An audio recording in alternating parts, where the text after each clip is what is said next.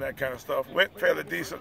Uh, as usual, our defense still, uh, you know, has the upper hand. I think that's the general way it goes uh, for us generally around here during the spring. So, you know, I thought that went good. Um, we made a few big plays. We gave up a few big plays. That's a little bit concerning.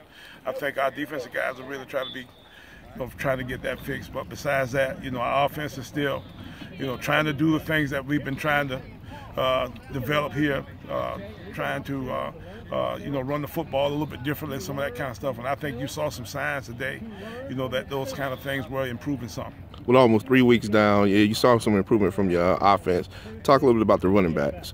Well, um, we got some good young running backs. Uh, we got uh, uh, LeBron Morris, freshman from Atlanta. Uh, we think that he's uh, your typical South Carolina State kind of back. He's not a very big guy, but he's strong.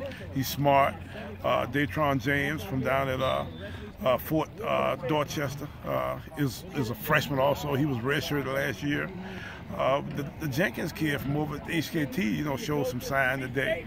Uh, we got a, a, a, another two or three guys that we're trying to figure out exactly where we put them at the bus Hamiltons of the world. So we've got some running backs that you know that are developing now in, in a way where you know we like to think that we could maybe develop you know a good bit of depth that way. When you look at the quarterback spot, Dewan Forrest seemed to throw the ball a little bit well today. Talk a little bit about that. Well, Dewan seems to be rising to the top. Uh, I think he's starting to win the job. Marquand uh, uh, Goodman had played pretty good up to the day. I don't know. I have to look at the film and see, you know, exactly what I saw today.